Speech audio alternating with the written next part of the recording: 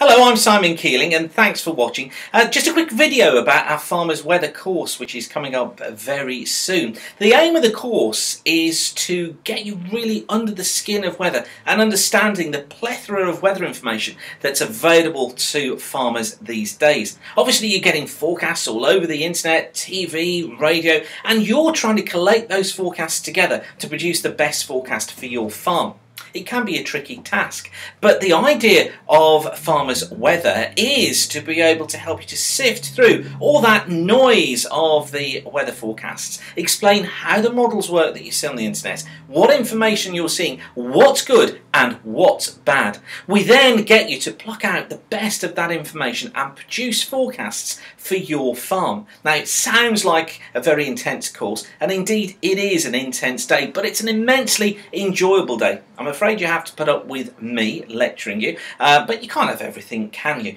And the aim of the day is that at the end you will be able to make better predictions for your farm. You'll know what forecasts to trust, and it will build your confidence that when you set out to do a task in the morning, you know that the weather is going to be as you expect it to be at the end of the day. So, more information is available on the website here, but I look forward to seeing you. If you've got any questions or queries, just get in touch and we'll be only too happy to answer them.